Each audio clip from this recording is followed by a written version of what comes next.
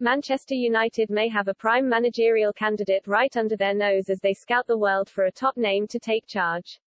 The Red Devils are gearing up for a jam-packed summer, with appointing a new permanent boss top of their priority list.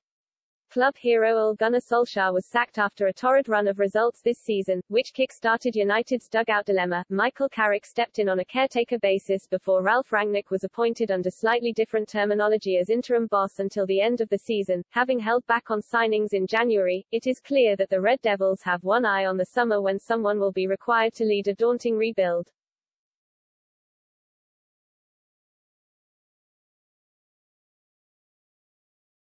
United's star-studded squad has failed to deliver in recent seasons, with standards high among the Premier League's other big hitters. PSG boss Mauricio Pochettino has been heavily linked to Old Trafford, but fears persist that he may turn down the opportunity. Erik Ten Hag has also drawn plaudits for his tremendous work with Ajax, but the success of his project could yet tempt him to stay in Amsterdam. This week, ESPN reported that Carlo Ancelotti has emerged as a surprise candidate, and the idea of hiring the Real Madrid manager is supposedly endorsed by Red Devils hero Sir Alex Ferguson.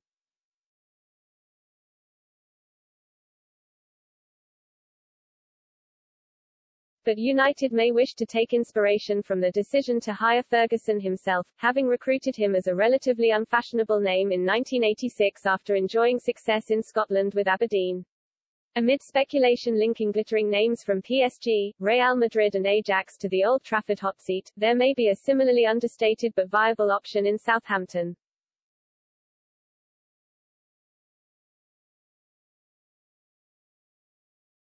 Ralph Hasenhüttl is now into his fourth season with the Saints, where the club have opted to stick with him through underwhelming times, and now appear to be reaping the rewards. Rangnick may have already laid the groundwork for the Austrians' preferred 4-2-2-2 formation, which requires tireless running, pressing, and direct passing to create chances on the counter-attack. Although Hasenhüttl's philosophy took a while to hit home on the south coast, a switch appears to have been flicked, and they are currently on a seven-game unbeaten run.